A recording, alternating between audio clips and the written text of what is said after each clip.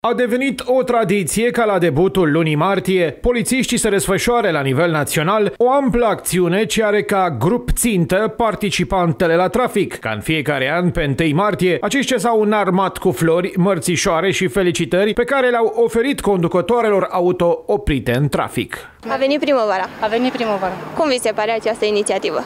Foarte frumos. V-ați speriat când va opri poliția? Un pic.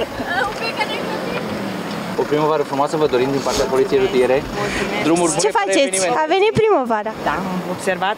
Ne bucurăm de ea și de ea în același timp. V-a speriat puțin că v-a oprit uh, poliția? Ai, nu, sub nicio formă mi-am dat seama. Pentru că toate reprezentantele sexului frumos merită să aibă o primăvară frumoasă, nu doar conducătoarele de autovehicule, polițiștii au tras pe dreapta și un autobuz. Toate doamnele și domnișoarele din mijlocul de transport au fost amendate cu câte o floare.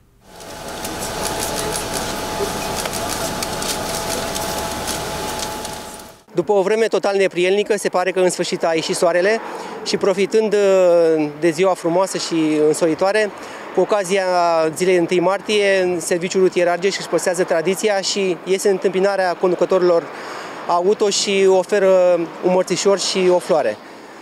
Uh, recomandăm conducătorilor auto să circule preventiv și o primăvară deosebită. Inspectoratul de Poliție Județean Argeș dorește tuturor doamnelor și domnișoarelor ca această primăvară să le aducă bucurii, dragoste și speranță.